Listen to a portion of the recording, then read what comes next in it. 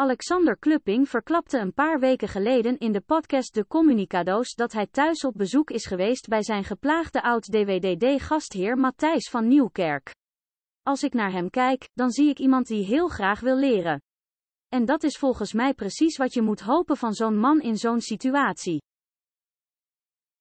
Volgens 538 ster-sidekick Niels van Baarlen is Alexander gewoon stiekem onderdeel van een groot PR-plan om Matthijs terug in het zadel te hijsen. Ik denk dat zij gezegd hebben, jij gaat bij Boulevard, daar werden de uitspraken die Alexander in de podcast deed ook uitgezonden, red.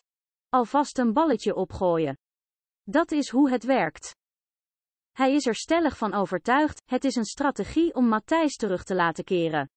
Dat moet natuurlijk ergens vandaan komen. Dat gaan we straks met Tom Egbers ook krijgen. Er wordt natuurlijk gezegd, yo, we gaan het inmasseren. Dit wordt nu nieuws, want elke scheet haalt de krant. Victor Vlam, de presentator van de podcast waarin Alexander zijn uitspraken deed, stelt dat dit onzin in. Alexander wist niet dat ik hierover ging vragen.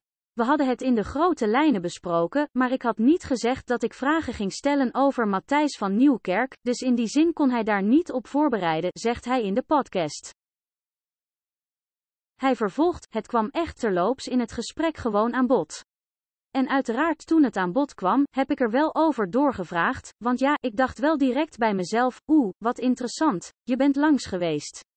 Ik dacht dat hij een kluizenaar was en dat hij niemand meer zag maar het is echt terloops ter sprake gekomen. De beweringen van Niels kloppen dus niet, al dus Victor. Dus dat er een strategie achter zit, dat heb ik er niet in kunnen ontdekken. Ik had wel bij mezelf op dat moment zoiets van, ik wou dat Alexander er veel meer over zegt. Ik heb echt alles geprobeerd om er meer uit te krijgen bij Alexander. Maar hij zei er niet heel veel spannende dingen over. Co-host Lars Duursma, wat ik grappig vind is dat er bij 538 dus een hele soort van machiavellistische strategie achter werd gezocht. Het valt me op dat dat heel vaak wordt gedaan. Dat er een soort van strategie achter iets wordt gezocht wat in dit geval eigenlijk vooral toeval was. Dat zie ik natuurlijk wel vaker.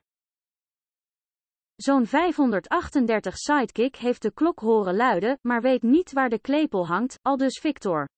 Je ziet vaak ook dat heel veel gewoon toevallig ontstaat en er wordt vaak strategie bij gezocht, terwijl het er echt totaal niet was inderdaad. Dus ja, ik vond het ook wel grappig om die discussie op 538 te luisteren. Hij vervolgt, ik dacht ook bij mezelf, ja, dit is zo ongeïnformeerd hoe erover wordt gesproken. Dat is gewoon verbijsterend eerlijk gezegd. Het is gewoon echt dat je denkt van, jongens, jullie hebben niet eens het gesprek zelf beluisterd, want anders had je er wel een iets duidelijkere, betere mening over.